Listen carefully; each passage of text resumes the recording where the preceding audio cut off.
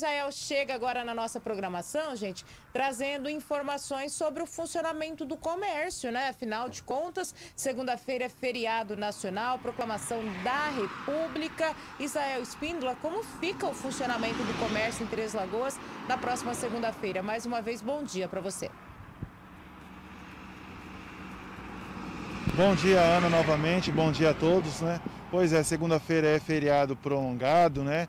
Departamento, as repartições públicas não funcionarão na segunda-feira. Em compensação, o comércio, algumas lojas precisam buscar autorização junto ao sindicato né, varejista do comércio para pedir autorização para abrir funcionar. E a gente tem acompanhado né, essa retomada do, da economia nesse, na pós-Covid, ainda estamos vivendo ainda nessa pandemia, mas de uma forma mais controlada e com isso o comércio volta a aquecer.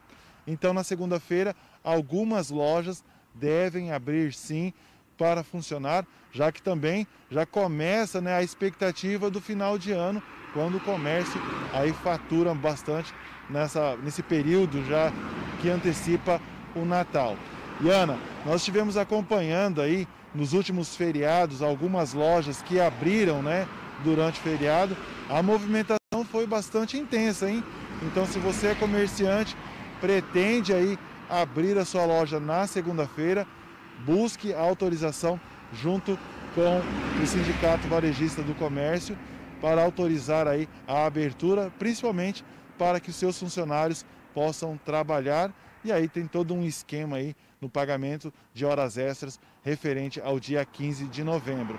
Como eu disse, nos últimos feriados prolongados que nós tivemos aqui, nós registramos aí um volume bastante intenso de pessoas circulando pelo centro de Três Lagoas, procurando as lojas, né, fazendo as suas compras, e isso é muito importante para a economia do nosso município, ou seja, vendendo mais, é claro que há também a contratação de mão de obra. E aproveitando também, Ana, essa deixa, falando de comércio, da expectativa de fim de ano, vale lembrar né, que o Sindicato do Comércio Varejista está fornecendo um curso para as pessoas que querem trabalhar neste final de ano, neste ramo.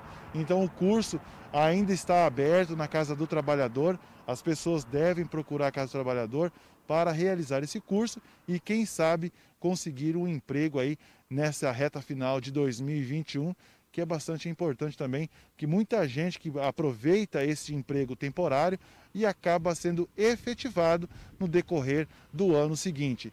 Então, dia 15 de novembro, algumas lojas estarão sim abertas no centro de Três Lagoas. As repartições públicas, como eu disse, estarão fechadas, assim como agências bancárias e também as lotéricas e, claro, os correios. Ana.